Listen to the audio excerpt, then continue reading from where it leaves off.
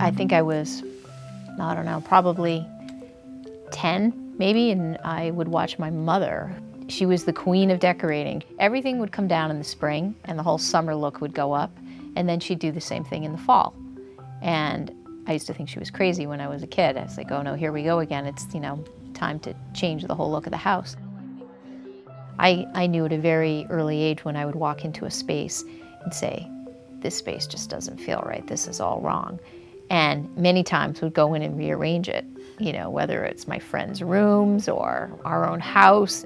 It drives my family crazy when we travel. You know, if we go in a hotel room and if it's set up all wrong or the lobby, they'll find me rearranging the furniture in a lobby and, you know, they want to crawl under the sofa instead of help me move it. But it's just, it's just who I am, what, and how I'm wired, I guess. I can't ever remember not realizing that interior design was what was my passion. Having worked for designers, I would say they had very, very distinct styles. And either you love that style or you don't. And again, people, that's why people um, hire them. They want that look. And it took me a long time to realize that, okay, that works for them. And they can sell and sell and sell their style and sell their look on other people but it's not what I'm about. I'm not trying to sell who I am or what I am to our clients. I want to find out who they are and make something unique for them.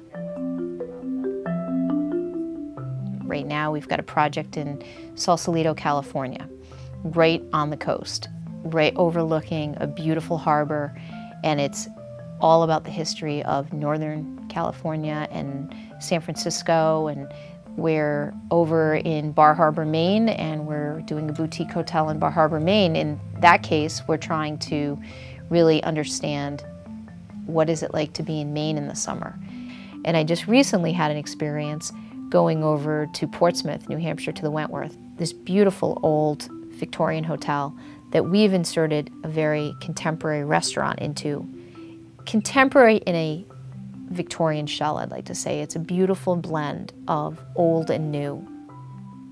I love, I'm passionate about flowers, greenery, um, the, wor- uh, the natural environment that we're in. I mean, it, it and I think that um, it's, it's an element that I try to bring into every interior that we, that we have an opportunity to work on. And I, in Hotel Vermont, you'll see that in the ferns that are hanging in the sap buckets. And um, you'll see the front desk, the combination of natural ferns and flora. Not only are we paying close attention to the architecture and the materiality, and then how that carries into the furnishings, but then it's those touches, those green, soft touches that harken back to our environment. I think what happens in our office is we're also passionate about what we do. That, I think, becomes a bit infectious with the clients. It's that passion that, that also, quite honestly, sets us apart, that we don't stop until we get it perfect.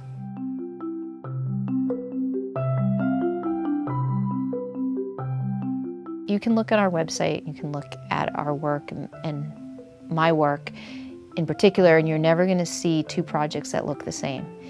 Each project is very different and unique, but each project is, has timeless elements. We're always asking the question, what hasn't been done yet, or what isn't being done, and how can we do it different and better, but without being trendy.